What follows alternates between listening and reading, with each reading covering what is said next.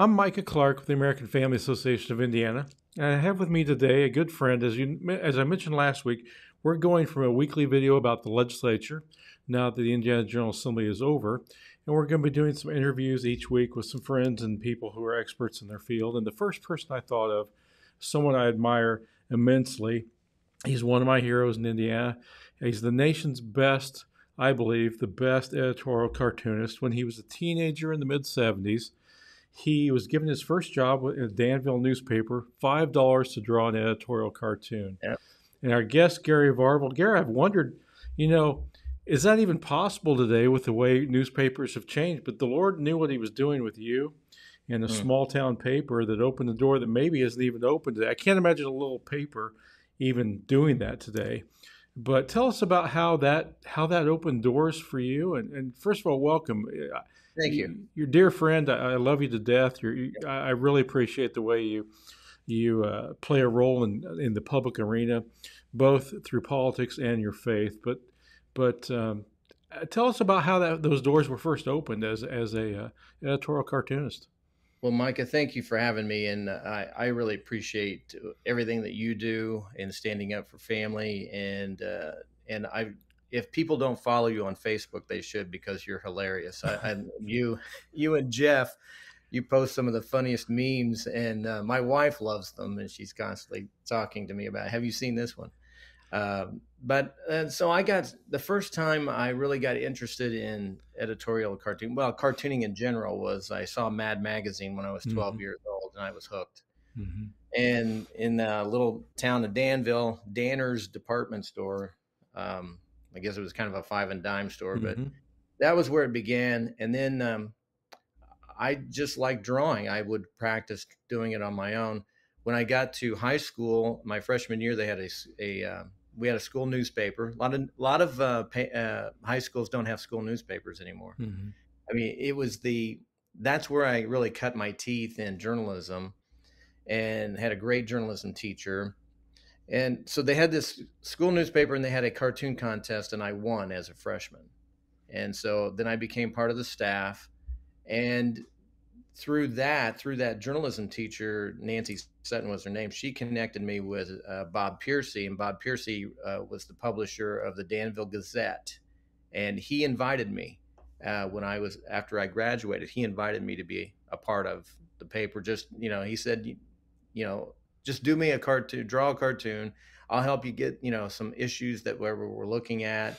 And uh, I would draw a cartoon and you pay me five bucks. But the main thing was to get published. Mm-hmm. Now that newspaper is not in operation anymore, but their competitor, that little tiny town had two newspapers, uh, two weekly newspapers, and the other paper is called the Republican, and it's still in operation. In fact, uh, just starting in January or February, I just started writing a column for them once a month. And so, what we it's me and Philip Gulley, who is a pastor, who's a liberal pastor. yes.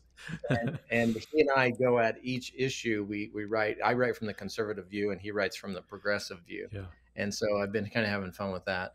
Um, so, I, you know, I think there are some small newspapers around. A lot of stuff has gone online if you're a young cartoonist and you really have a passion for it, you know, I think if you're, you know, just did some stuff and just submitted them with no, in, you know, intention of getting paid, just getting published is the main main thing. I think that that can still happen.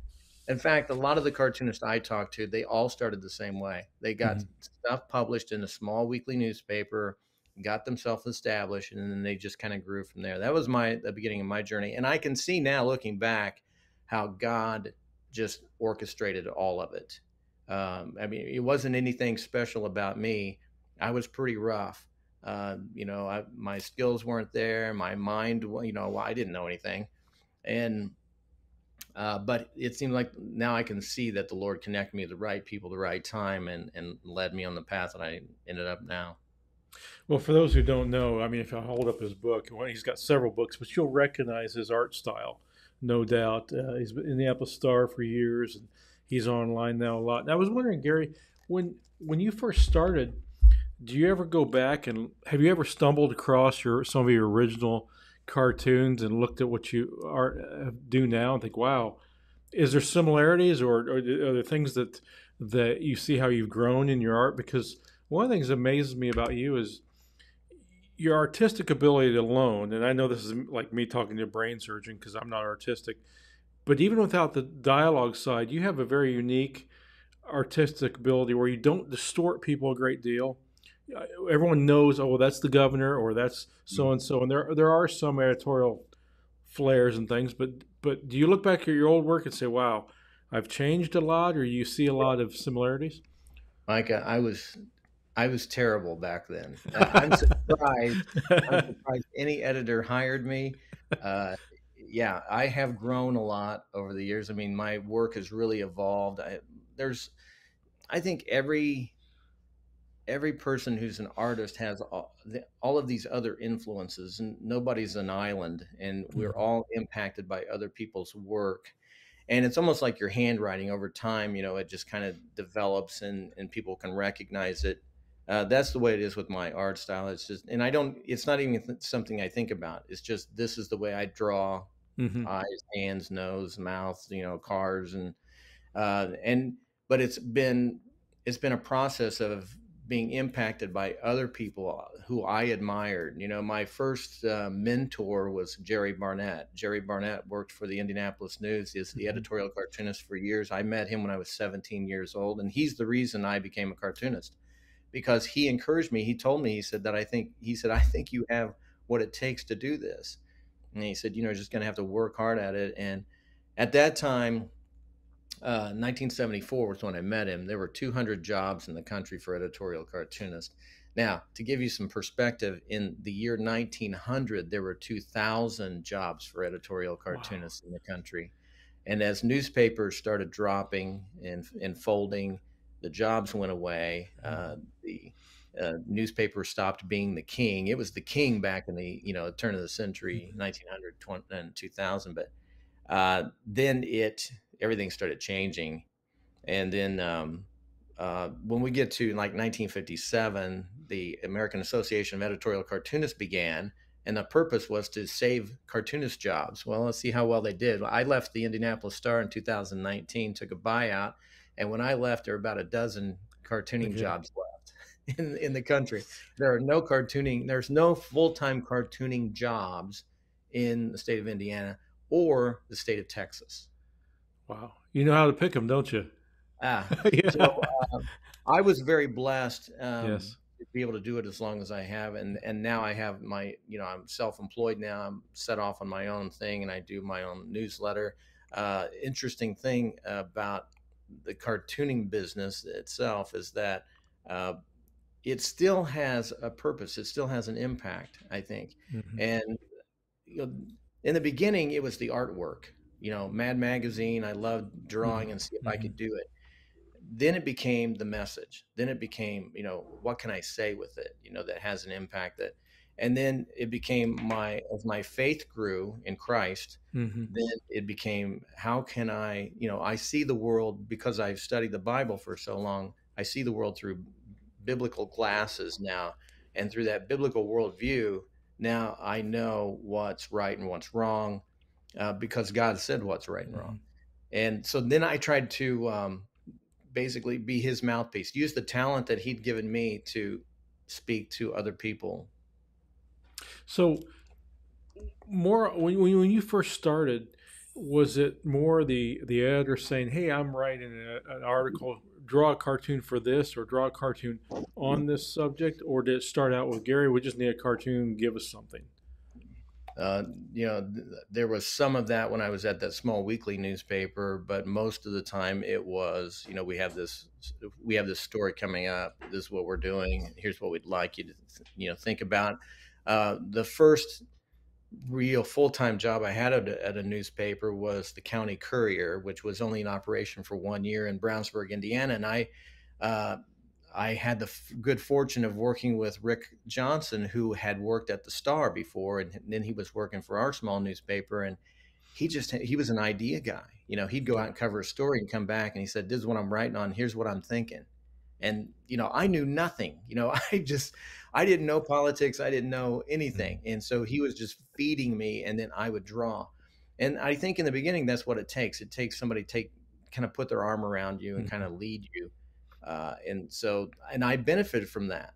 yeah, because then I started seeing, okay, yeah, here's how, here's here's the way you use analogies and and and metaphors and and and find you know popular culture and, and use it in a way that we can address certain uh, subjects and and and and have a point. That's the main thing, right? Mm-hmm. You know, Gary, I worked with some. We've done some billboards through AFA before, and I remember a guy telling me who was designing it. If you do more than six or seven words on a billboard, you've lost people. Of course, they're in a yeah. car usually driving by, but yeah. I've noticed you don't use a lot of text usually. I mean, there's certain types of cartoons where you will, but uh, was that something you knew right out of the gate, or was that something you learned over time? Well, you know, there again, um, when I, yeah, as a kid, now I'm looking at Mad Magazine, I come across a page and they got all this dialog mm-hmm. I don't even read it. I just look at the cartoon, look yeah. at the image. I, I love the guys like uh, Sergio Aragones, who was the guy who did these little drawings in the corners, uh, in the margins of uh-huh. Mad Magazine, because he would tell a story with no words. Mm-hmm. And I thought that is genius. That's hard to do, mm-hmm. but that was one one of the things that really attracted me. So, yeah, I'm just thinking back. Uh, you know, elections past. One of my favorite cartoons with no words was the election with um, John McCain against Barack Obama during the campaign. So I drew John McCain in like a um, uh, like these mobilized scooters, mm-hmm. uh, mobility mm-hmm. scooter, and then I had Obama in like a tricycle. Yep. And that's all I was saying. This is your choice. Somebody yep. who has no experience and somebody who's really on the yep. last rung here. and and it said exactly what I wanted to say, and people understood it immediately. You don't need words. I'm going to show you a cartoon that you'll know immediately. This is probably it's hard to say what is my favorite Gary Varvel cartoon because there's dozens of them. You do outstanding work, but I remember the first time I saw this, I about died. Um, this is the famous Mike Pence, Donald Trump oh, yeah. cartoon, and I just thought because I know Mike, you know Mike, we were friends right. with Mike, and we I felt like and that I interpreted this as well, we don't know quite what this Trump guy's like, but we, we know what Mike Pence is like. He'll balance. Right. He's a he's a solid Christian believer. Mm-hmm. Everybody loves Mike. This is the the yin and the yang. Hate to say it that way, but it never it didn't really turn out that way. But the cartoon was was fabulous. You, and I guess go ahead well, this was early in the campaign, mm-hmm. and of course, Trump is very loud, and you know he's in your face and criticizing the you know his opponents and mocking them, and that's that was his method. Uh, and Mike is more reserved, mm-hmm. and so a lot of times, what was happening early in the campaign was Trump would say something, everybody get outraged, and then Mike Pence would go on TV and he kind of calmed the waters. Yeah. And so I thought, okay, yeah. I'll just show a big mouth, and then he's standing in the mouth trying to. Well, what he really meant to say yes. was, because that's what he was doing on TV. It was. It was. So uh, there's so many great. I'm. I, this is probably like trying to ask you to pick your favorite child. Do you have a favorite cartoon you've done of all time, well, or two or three? Me, yeah, people ask me all that uh, all the time about that. I think the 9/11 cartoon mm-hmm. that I did uh, was uh, Uncle Sam carrying the firefighter away from mm-hmm. the rubble in New York. I think that was probably my favorite because it impacted people so much. Uh, when mm-hmm. we first did it, the Star printed it into a poster and sold it to raise money for the relief effort in New York. We raised one hundred thirty thousand dollars on that on the sale of that mm-hmm. cartoon, mm-hmm. and so that one probably because it you know it it kind of became my identifier. It's in a lot of firehouses even to this mm-hmm. day. Mm-hmm.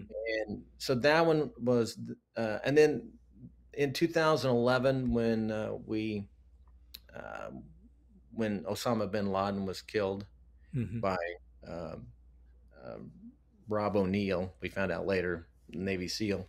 I did a cartoon of just a real tight shot on the left eye yes, of Osama bin Laden, and in the eye you could see Navy SEAL pointing mm-hmm. a weapon at him, and the pupil was the barrel of the gun and uh, I think that cartoon was well. That was the year I won the National Headliners Award for editorial cartooning, and I think that cartoon was part of my portfolio. And I think that was uh, because it was different than everyone else's. I think that's why I got the nod.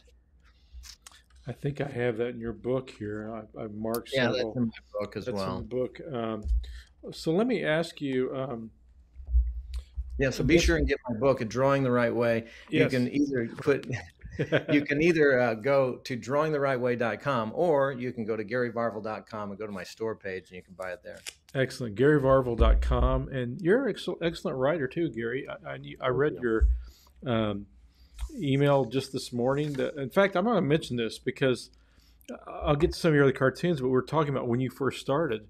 There's a man named, named Mike Thompson who is a cartoonist. You wrote yeah. about this in your weekly email. Yeah. And uh, his first cartoon – in, in Minneapolis newspaper.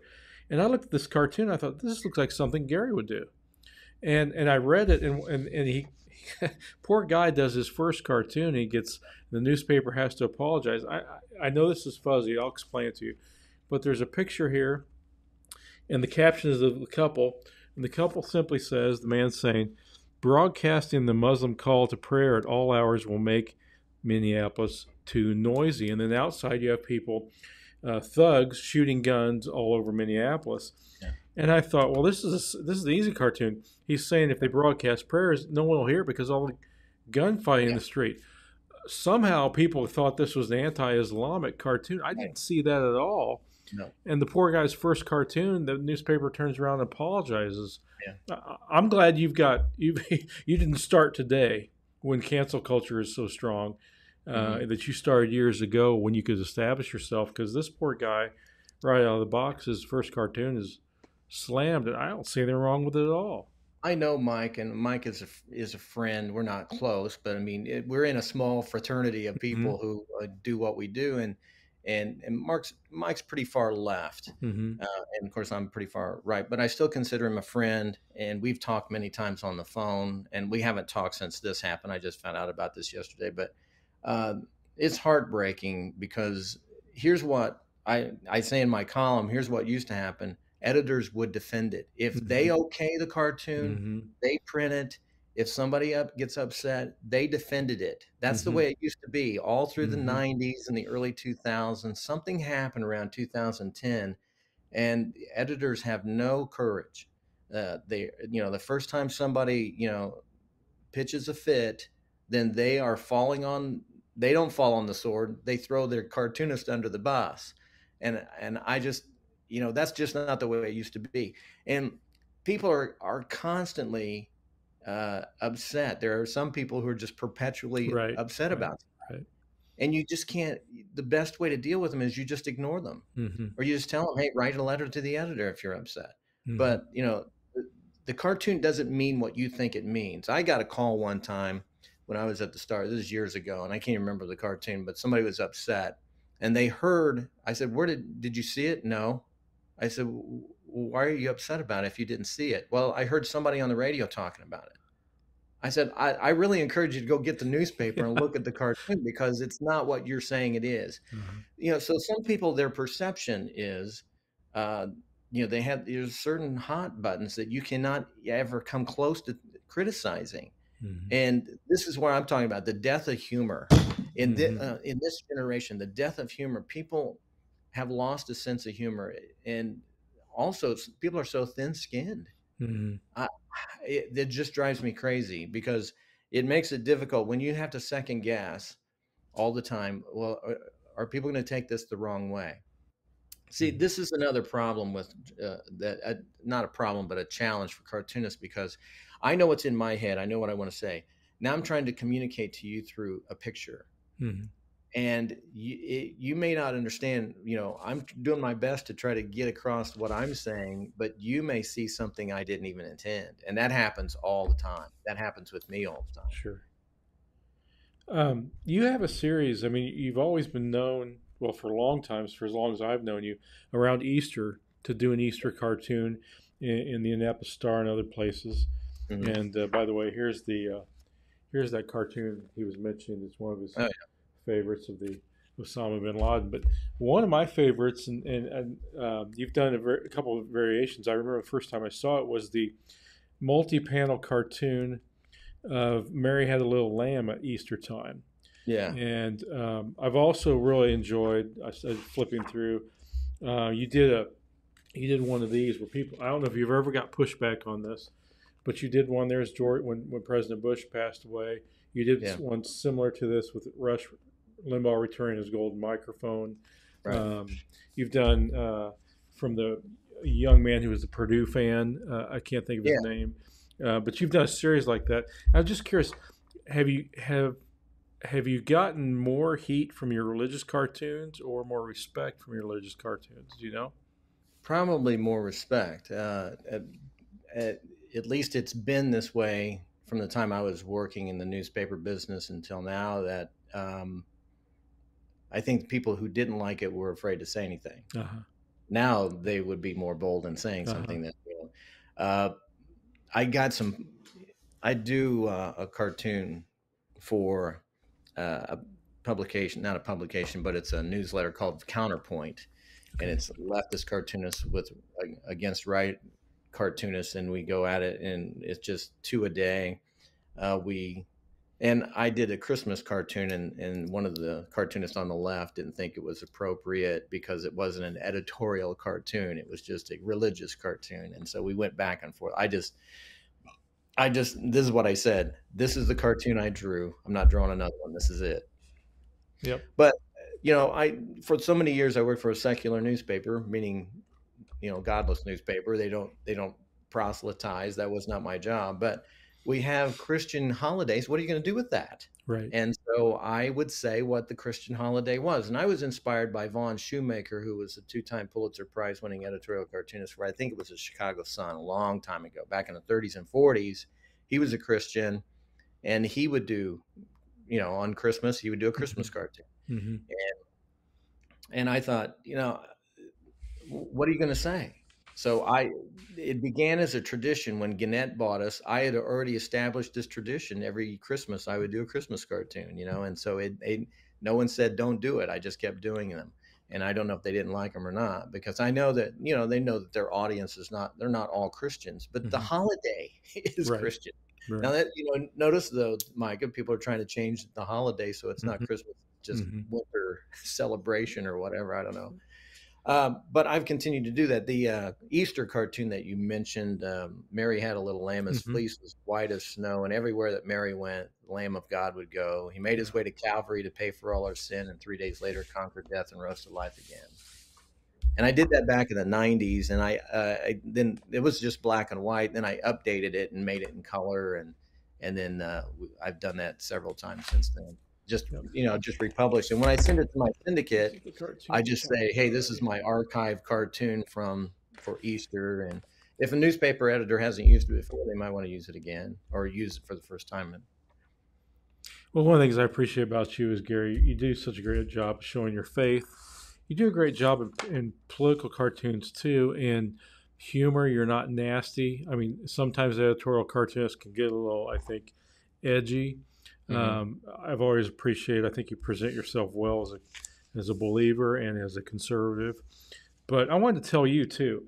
Um, you know, as as working in the Indiana General Assembly as a lobbyist with first the Indiana Family Institute for 10 years, and then now 20 years with the American Family Association, that there have been some pivotal moments in the legislature where a cartoon came out from you and, and had a big impact. Um, and of course, I tried to fuel that along by passing it around.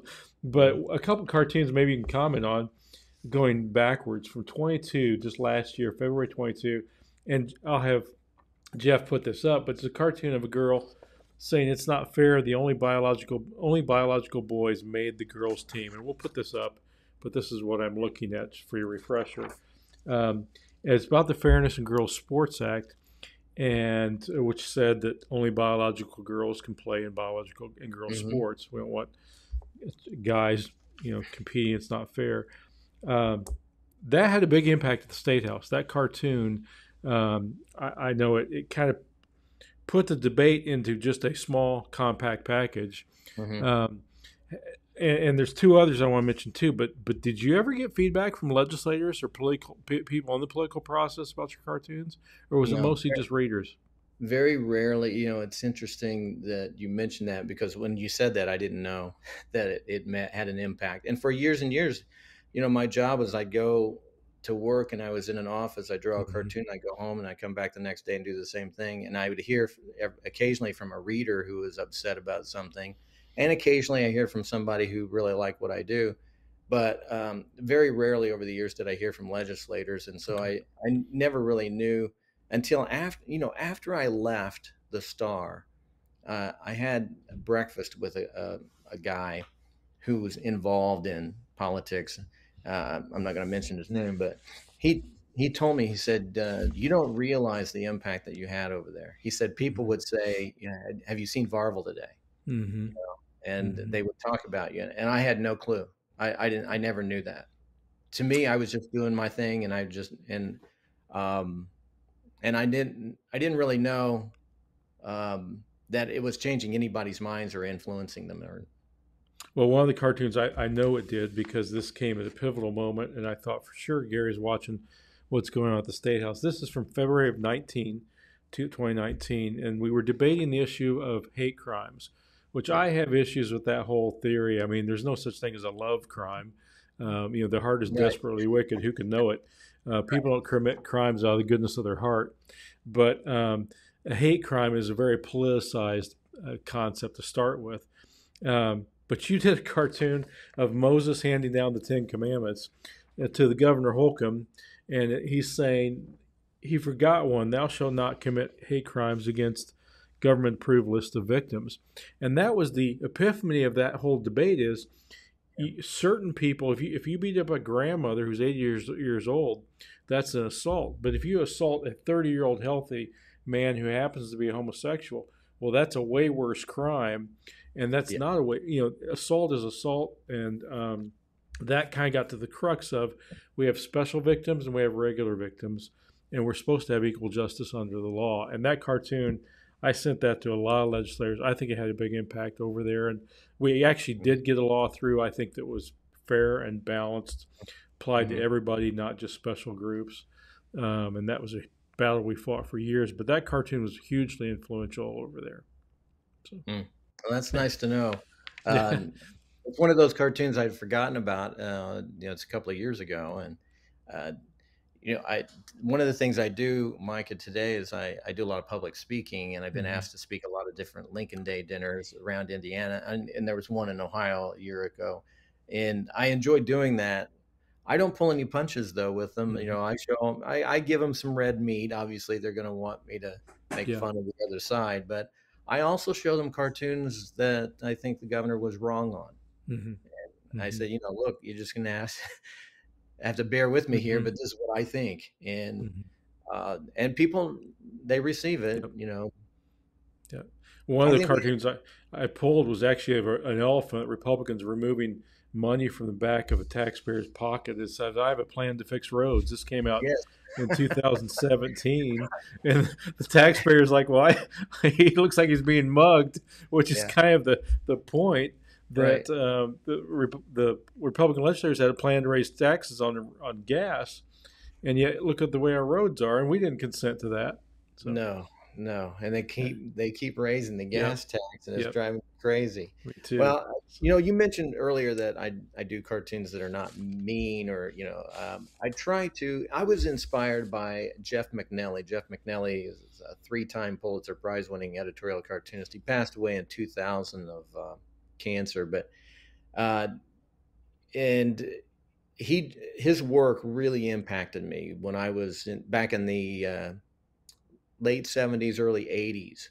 Uh, I would just I admired his work and and not just his drawing style, which was very whimsical, but uh, also the way he conveyed a message because he would do it in and his cartoons were strong, but at the same well, he won the Pulitzer three times. That was back when conservatives would actually win a Pulitzer. That doesn't happen anymore. so, well, um, yeah. Um, I'm gonna wind down, but I know you, you write a weekly email um, yeah. and you write columns that are excellent, and, and, as well as your cartoons, which are included in the email. How do people sign up for that? And I think it's a is a subscription service you do. Yeah, so uh, I I'm writing for Substack uh, now. So I have a Substack page. You can go to garyvarvel.substack.com. You can uh, subscribe for free. You just put your email in and, okay. and say you want the free version and you'll get my stuff. I'll just email it to you. Also, the nice thing about Substack is you can go to the Substack page, my page, and you can see my past uh, emails. Uh, you can go and look at them, and um, or you could go to GaryVarvel.com. You could sign up there, and it, both both of those places have um, uh, where you can sign up. You can pay. If you get the pay Mm-hmm. version, you get a little more stuff, and so I encourage people. That's one of the ways that the Lord's providing for me now because there have been a lot of gracious people who want to help me continue doing what I'm doing.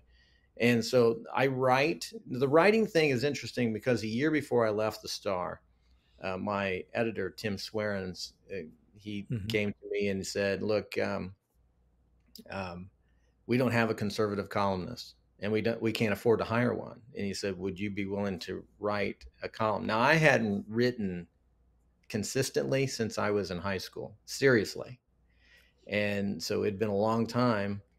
And he he said, "Now here," and he, this is what he encouraged me because Tim's a Christian, and he said, "Here's what would make you different, right from your faith point of view." Well, there's a Mhm. lot of conservative col- car- columnists out there, but right from so the very first piece that I wrote was after that Las Vegas shooter where he sh- he shot and killed I don't know 60 people or something like Mhm. that, Mhm. like a sniper, and I wrote a a column on gun control Mhm. and I wrote it from a biblical perspective. And I Mhm. and I think I titled it "The Las Vegas Shooter Had a Heart Problem."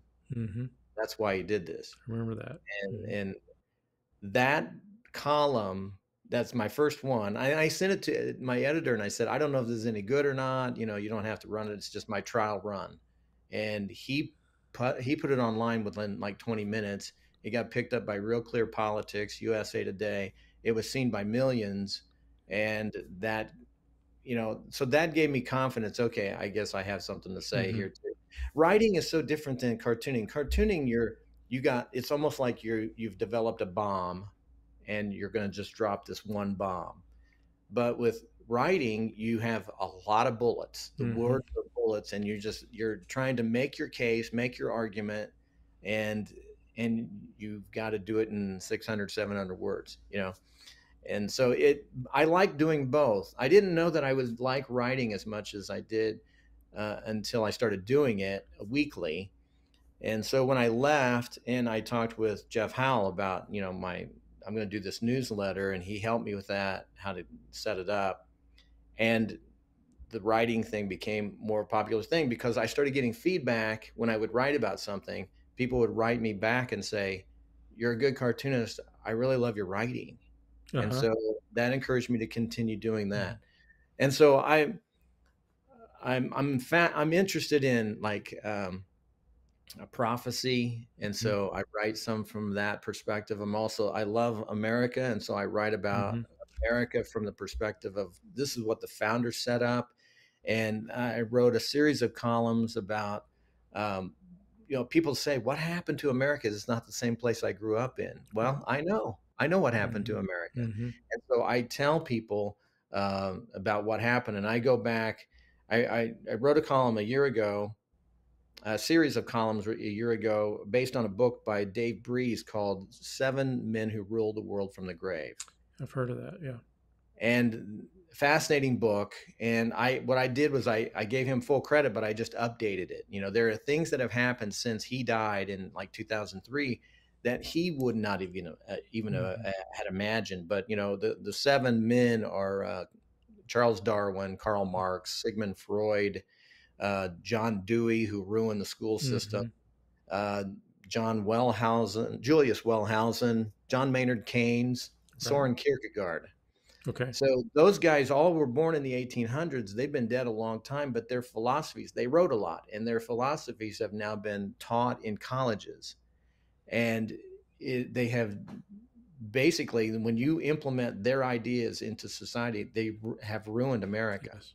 Mhm. And when I go out and speak and I talk a little bit about some of this stuff, then I say, you know, the, in my opinion, the only way to save America is we need to go back to what the founders set up. Mhm. John Adams, for instance, second president of the United States, said that our Constitution is made for a religious and, whole, and, and moral people. It's wholly inadequate for the government of any other. I think he's absolutely right. Yep. The reason we have so much crime, and if you watch Twitter right now, it's so full of this person beating up this person, or this Mhm. person stabbing another person, or someone shooting someone, and it's constant violence. We're living in the days of Noah. And that's what Yep. Jesus said Yep. before he comes back. It would be like the days of Noah. And I, I see it all around me. So that's the kind of stuff I write about. If you want to, if you're interested in seeing more, go to garyvarvel.com or go to garyvarvel.substack.com. Sign up. Well, one of the founders, you know, Dr. Benjamin Rush, who was a Yes. Christian conservative, great writer, signer of the Declaration, made a simple comment. He said, "Liberty without virtue would be no blessing to us at all." Yeah. and that's where we are. We have freedom, but we have no morals, Exactly. and, and, that's what what we have is anarchy. That leads to anarchy, and that's where we're headed. Right. That's So- right. And I used a quote from him in my newsletter just today uh, about schools. And he said, "When the Bible, when it's not read Mhm. in schools, is rarely read any other time, and it's Mhm. the only thing that can give make people happy, Yep. give them purpose in life." There was a, one of my favorites, and I don't know anything about this guy, and we're going to wrap it up because I'm getting the signal. But Okay. uh, there was a Speaker of the House, I think his name was Winthrop, from the mid 1800s, gave a speech, and he said, "Man will either be governed by the Ten Commandments or by the ten thousand commandments." And that's where we are. If we don't have internal restraint, which is why libertarianism won't work because we don't have the moral capacity for it. Yeah. Um, but if we don't have moral restraint, it doesn't matter how many laws we pass. We're not. We're You're- going to be. Exactly. You're talking about Robert Winthrop, who was Yes. the Speaker of the House. Yes. Robert Winthrop said that yeah, there's only two ways to control mankind: either with the Bible Or the or with the bayonet. Yep. Yep. You either control people with through their heart, or you have Mhm. to have a police force that controls them. Mhm. And Yeah. the second's not very good. Hey, I just want to point out right behind me here is uh, my family Yes. tree. I actually Yes. painted a tree on the wall, and then these are photographs of my whole family. Well, you my wife and I down at this end and on. And you have a pretty fa- famous family son that you work with quite a bit too. Tell us as we wrap up. Tell us about the film projects you guys are doing with So Brett. I'm the, I'm the chairman of the board of House of Grace Films, started by my son Brett. Brett is an actor, director, producer, editor. He does it all, and he has a production company, House of Grace Studios. But his acting career started taking off. He was in uh, American Underdog, uh, the Mhm. Kurt Warner story. He was in uh, Mhm. Running the Bases. He was lead actor in that. Running the Bases Okay. was in the theaters for a while. Um, he, we just finished shooting a movie in um, the fall of last year called Disciples in the Moonlight. It's in post production right now. Okay. We're hoping to either get it in theaters by the fall or by the spring of 2024. Probably be the spring. But um, uh, our our our main uh, objective, our uh, our slogan for the company is that we're using the most powerful medium of our Mhm. time Mhm. communicate the most powerful message ever told, the, the gospel of Jesus Christ. And Great so the, statement. the, the medium is not good or evil, it's the people who are Mhm. using it, the Mhm. message being portrayed. And so what we're trying to do is uh, we're trying to use the medium. Yeah, Hollywood has captured the hearts of our Right. culture. They have dictated Yep. uh, right and wrong. Yep. And people have compromised their their moral standards. What we're trying to do is interject back into the go- the gospel into it. Uh, Brett and I both recognize. So we did two movies together, the, the Board and the War Mhm. Within. Since then, he, he has gone on to do, do a whole bunch of stuff without me. That's fine. you know, he's on his journey, and I'm I'm just here to support him. I must become lesser; he becomes greater. To, uh, but it's all to portray uh, the message of Jesus Christ to people, because the gospel is the power of God for the salvation of everyone who believes. It's not filmmaking. It's not us. That's just the the um, the um plumbing system to get it to people. But uh, we have heard, you know, in the movies that we've done, we've heard from people, and this is the most rewarding thing for me, Micah. We've heard from people who say, uh, "I will never meet you on earth, but I look forward to meeting you in heaven because Oh. I will be there because of your film." Yep. Yep. Uh, because the gospel was in the film, and that's what impacted them, and so uh, that's why we do what we do. And um, I, and I'm encouraged because all of our my I, my kids are all walking with the Lord, and they're all doing ministry kind of things. So they're using the the gifts that God gave them Mhm. for Him. And um, as a father, there can't be more joy Right. than that. Yeah. There's a Bible verse that says that too. I have no greater joy yeah, than that my kids walk with the Lord. Yep. Yeah. Um, you know, I have a. I'll close, with Gary, but I have a friend who's a very good friend at my church who went to a art and film school, and he makes a statement. He said that uh, uh, a movie is always somebody's sermon. Yeah. So whoever made the movie, I mean, the, even to the placement of where what kind of brands of cereal are on the countertop when you see a kitchen scene, That's it's right. somebody. uh, It's it's very influential. Uh, somebody has a message, whether they realize it or not. They, more often, they do realize it in Mhm. Hollywood, and they push things and they promote things. There's they they have editors for a reason, but Yeah. uh, and they wouldn't do that if they didn't know how powerful it was. I mean, people wouldn't spend millions of dollars for a sixty-second Right. Super Bowl commercial if if Mm. that didn't influence our behavior. And so, the eye is the window to the heart, and, and so I'm I'm glad you're in that arena because more Christians need to be out there doing that. So You know, Brad has told me that a lot of the movies that, like for instance, Netflix uh, Mhm. and some of those platforms now, those streaming platforms, they spend a lot of money to get stuff made. They never make the money back. But that's not the goal. The goal is to move the culture. Right. The goal is to change the way people think. And you think about, you know, like my um, my grandkids, for instance, are growing up in an America where traditional marriage Yeah. barely Yeah. even on the screen. Yeah, exactly yeah, yeah. So anything goes now. So once my generation dies off, what are we leaving behind? And you know, if we're not training our children what God expects, you know, what God's standard is, uh, but we are living in a country that's forgotten God. Yep. So I'm trying, you know, I feel like I'm with a squirt gun trying to put out a fire, but that, I know that I feeling. and you do too, Mike. Yeah, And that's why I so much appreciate you Well, and your ministry. And I so appreciate it. It's good to see your face. Uh, you've been a friend for years. I'm glad you're on with us. And uh, give us the website one more time. Uh, is it GaryVarvel.com or Gary Varvel? Gary? Varvel dot, GaryVarvel.com if Okay. you want to just in in if you- GaryVarvel.com you can see some video Okay. stuff that I've done. And we'll put past, that at the bottom of the screen see the too. score page. Yeah, Yeah, great. good. Good to see you, and thank you for joining us today. Thank you for your time, and uh, hope you'll join us back next week when we will have more of this interview, and then uh, the following week we'll have more guests. So, th- Gary, thank you for joining us. God bless you. All right, you too. Bye. Bye.